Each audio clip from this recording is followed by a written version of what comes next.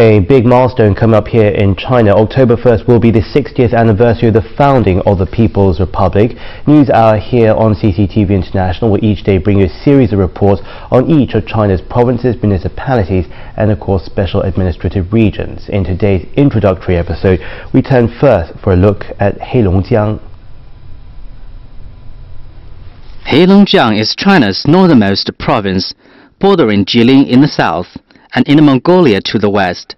It also borders Russia to the north.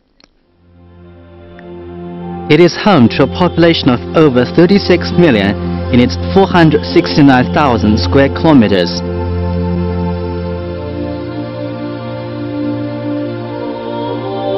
Heilongjiang is one of the country's most important producers of grain. Because of its subarctic weather, its agriculture is based on crops such as soybeans, maize and wheat. It's also an important source of timber for China. Dense forests can be found in the Greater and Lesser Xing'an Mountains.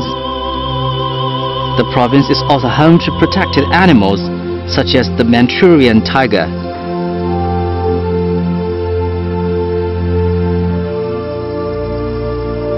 And the red-crowned crane.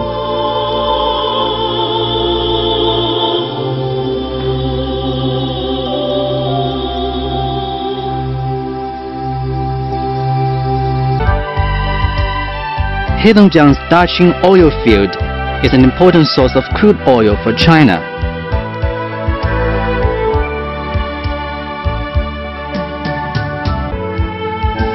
Other major industries include automobile and aircraft.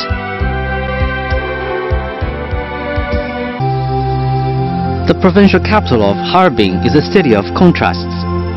With Chinese, Russian and eclectic worldwide influences visible throughout the city.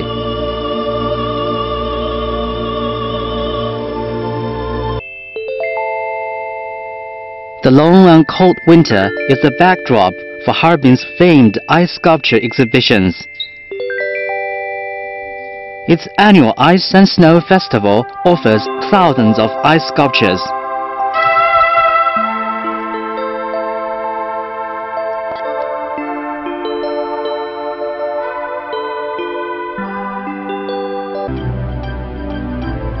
Harbin also boasts the nation's best ski resort, Yabuli.